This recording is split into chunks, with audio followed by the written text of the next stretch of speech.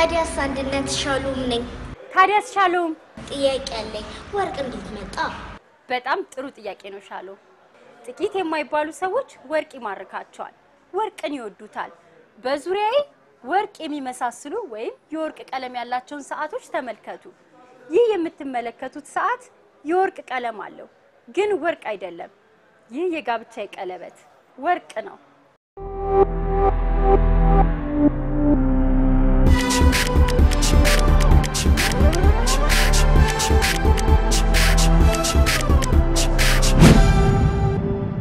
አካባቢያችሁን በደንብ ተመልከቱ።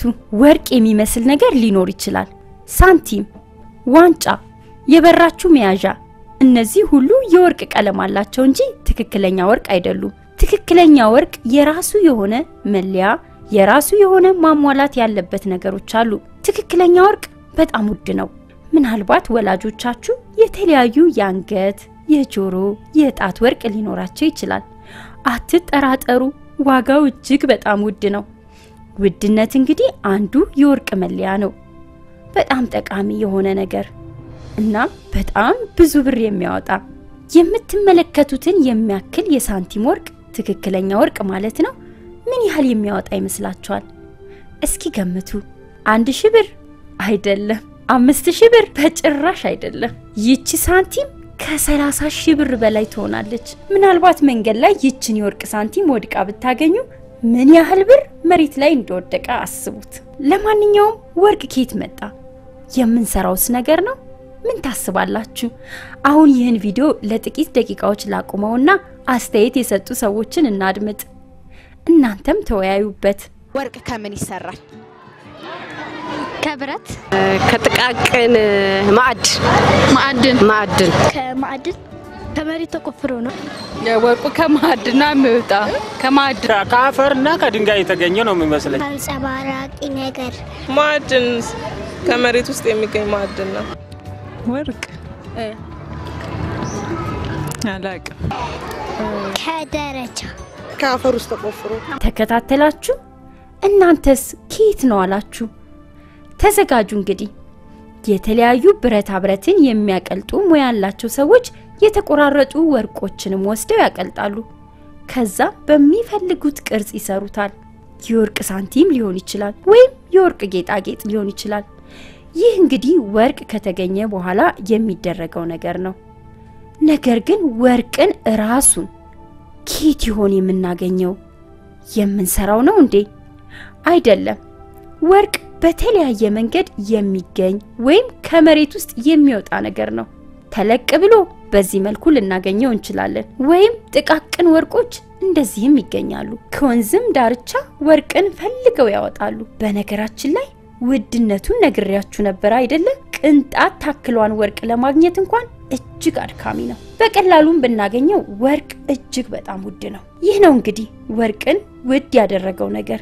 ወርቅን በዚህ መልኩ በሁሉም ቦታዎች ልናገኝ እንችላለን። ነገር ግን ወርቆችን በብዛት ሰዎች በተደጋጋሚ ያገኙባቸው የዓለማችን ክፍሎች አሉ።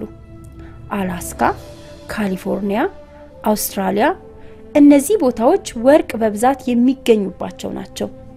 በሀገራችንም ቢሆን በተለያዩ ቦታዎች ወርቆች ይገኛሉ። ጥቂት ሰዎች መሬት ላይ ወርቅ አገኙ።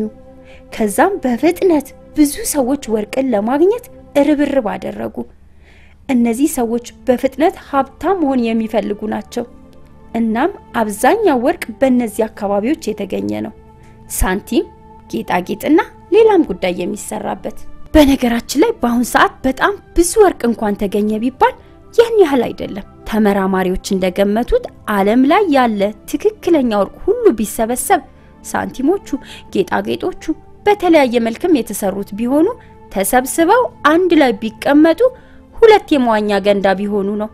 በቃ ዓለም ላይ የተገኘው ወርቅ ሁሉ አንድ ላይ ይቀመጥ ቢባል ከነዚህ ከሁለቱ የመዋኛ ገንዳዎች አያልፍም። ስለተቀበሩ ሀብቶች የሚነገሩን ተረቶችስ? የተቀበሩ በርካታ ወርቆች እንደዚህ አይነት ነገር ከተረት ውጪ አግኝታችሁ ታውቃላችሁ? ብታምኑም ባታምኑም ከጥቂት ዓመታት በፊት ካሊፎርኒያ የሚኖሩ ባልና ሚስቶች አካባቢያቸው ባለው ጫካ ሲዟዟሩ አንዳቸው የተቀበረ የበሰበሰ ቆርቆሮ ተመለከቱ። አውጥተው ሲያዩት በሚገርም ሁኔታ እያንዳንዱ እውነተኛ የወርቅ ሳንቲም ነበር። ይህ ወርቅ እንግዲህ በአንድ ወርቅ በሚያደንቅ ሰው የተቀበረ ሊሆን ይችላል። ምናልባት ከቀበረው በኋላ የተቀበረበት ቦታ ጠፍቶበት ሊሆን ይችላል። ወይም በሞት ተለይቶ ስለ ወርቁ ለማንም ሳይናገር ቀርቶ ሊሆን ይችላል። ወደ 32 ሚሊዮን ብር ቀየሩት። በነገራችን ላይ ይህ ለመጀመሪያ ጊዜ ብቻ የተከሰተ አይደለም። ከጥቂት ዓመታት በፊት ጣሊያን በሚገኝ አንድ ጥንታዊ ቤት ውስጥም ከቤቱ ስር ሲቆፈር ሙሉ በሙሉ በወርቅ የተሰሩ ሳንቲሞች ተገኝተዋል። ምናልባት እናንተም በምትኖሩበት አካባቢ የተደበቀ ወርቅ ሊኖር ይችላል፣ አይታወቅም። ለማጠቃለል ያህል ግን ትክክለኛ እውነተኛ ወርቅ የሚሰራ አይደለም፣ የሚገኝ እንጂ። ልጆች በአካባቢያችሁ በጣም ብዙ ብዙ የሚገርሙ የሚያስደንቁ ነገሮች አሉ። እስኪ ጠይቁን። ከቻላችሁ ደግሞ ወላጆቻችሁ ጥያቄያችሁን በስልካቸው ቀርጸው በፌስቡክ ገጻችን ኢትዮጲስ ቲቪ ፕሮግራም በሚለው ላይ ያስቀምጡልን። እኛ መልስ እንፈልግለታለን። መልስ የሌለው ጥያቄ የለምና። ልጆች ጠይቁ፣ ጠይቁ፣ ጠይቁ፣ ተመራመሩ። የሚጠይቁ ሰዎች ተመራማሪዎች ናቸው። አመሰግናለሁ አንድነት። ቻው። ሻሎም። እኔም አመሰግናለሁ።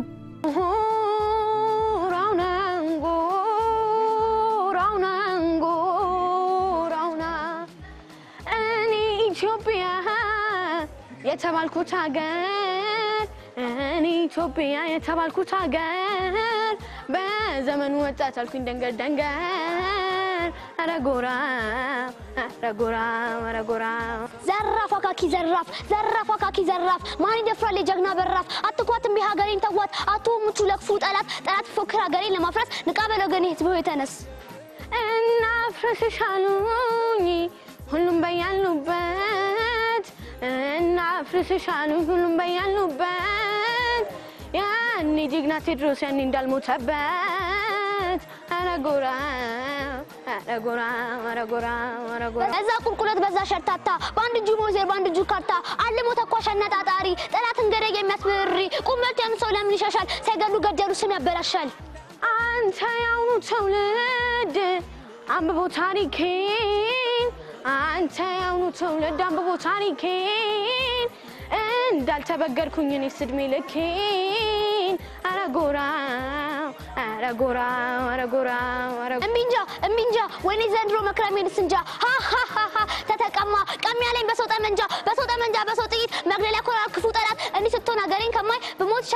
ከሰማይ ንግስት ሳባ የክብሯ መንገሻ ለአፍርስሽ ይለኛል የማንም ተልካሻ። ተወሉት ያንን ሰው ላፍርሳት ያለውን ፈርሼ ነበር በዘመነ መስፍን።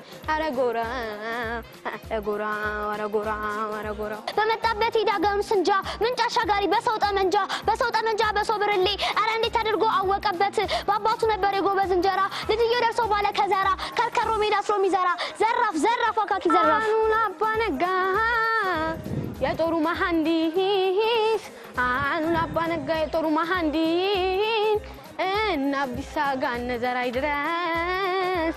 አረጎራው አረጎራው አረጎራው አረጎራው ያራስ አበበ የአራስ አበበ ጀት ከሰማይ ላይ የሚጥል ሲታኮስ። የአራስ አበበ ጀት ከሰማይ ላይ የሚጥል ሲታኮስ። ሆነው ነበረ ለኔስ ግርማ ሞገስ